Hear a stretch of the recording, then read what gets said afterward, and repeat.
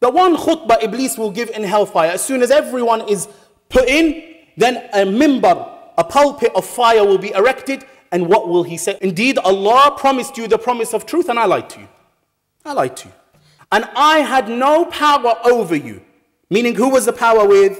The power was with you all of the time. You could have used that power to worship Allah, to obey His Messenger, and to paint yourself in the color of the Messenger sallallahu alaihi wasallam.